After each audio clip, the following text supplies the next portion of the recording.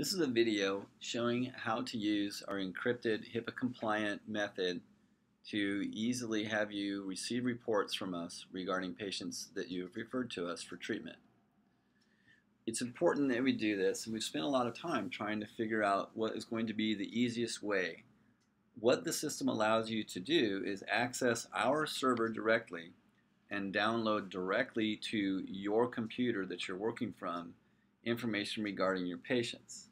This then means it doesn't go through anyone else's server and it's HIPAA compliant. Most of the time you will receive an email saying that there is a report for you. The easiest way to access the report is to open the email. This will say who it's regard regarding. Click on this button here and this will take you directly to the login portion of our website. You need to do a simple arithmetic problem to make sure that you are not a robot and that we're complying with HIPAA. That will take you directly to that individual's report. You then just click on download the file. Now this is living on your computer. You can then save this file, which is uh, the copy of the report that is now uh, living on your server you are prompted to this odd name that our uh, HIPAA compliant assigns it, but you can call it whatever you want. I'll call it Ken Tittle 4. Save it to where you want. I'm going to save it in my documents. And now, if I close out of my web browser and go into just where my documents are, there is that report now living on your computer absolutely as easy as opening an email would have been and now you can do with it whatever you would like. You can print it or save it to your own digital file. If you are looking for uh, the report of a patient that you don't have an email sitting there for you you can then go to our website diablovalleyendo.com You'll be prompted to our lovely beach scene, which I love. You then click into the referring doctor area. You're going to then need to choose whether the patient was seen in Pleasant Hill or Walnut Creek. Then you go to this familiar login area. Um, I'm still logged in from before, but if I wasn't and I had it saved on my web browser, it would still ask me to do the arithmetic. Now you're in the area uh, where you are looking at just your patient's information on our server. So you can search for the patient by typing a few of the letters of their last name and then search and it will pull up everyone that matches that. If you want to see all of the patients that you've referred, you type in asterisk it will pull up all the patients that you have referred in alphabetical list.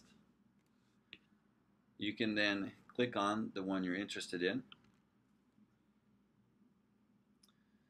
This will then bring you to a page that has all of the reports we have generated for this patient. You can click on the most recent one or whatever you're looking for. You can also click into this area to see the treatment series associated with this patient. If it was a recent evaluation, then you'd have the date uh, for that procedure.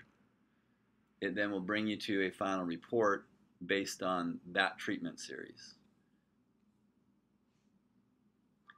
If you just want to look at things in general, there are a few other things you can look at. You can look at what prescriptions we have written for the patient. You can look at notes that we have uh, shared regarding this patient. If we've done recall on the patient, you can see that too. Um, and this is a good one here. If we have images that we have shared, they'll show up in this pane. You can directly download just these images if you wish. And the way you do that is you click on the image to enlarge it. Then if you are on a PC, you do right click and pick save as. If it's a Mac, you do control and click. You can save the image as what you want. Now this is going to put it on your computer. So again, you want to call it something that makes sense to you.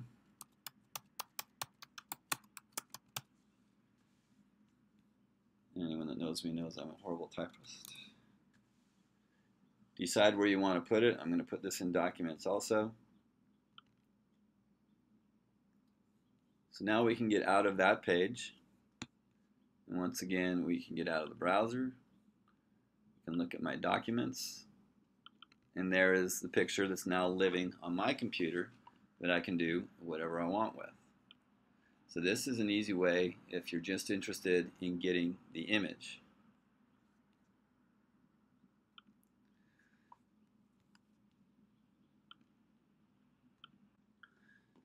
Another way to use this information is when you get to the doctor's login screen, you can search by patient's last name or you can search by appointment date. This will then give you in descending order patients that have been to us most recently. This is a handy way uh, to look um, if we want to have a summary of people that might need restorative treatment. And this is a real quick, easy way uh, to have kind of a quick call list with people that might need crowns or fillings. And that's another way that you can use the information on our server. Putting this all together, I really feel that this is uh, an efficient way to do things correctly uh, in terms of complying with HIPAA, protecting our patient's information, and making sure that you can have our information uh, regarding your patient as quickly as possible. I hope this video was helpful.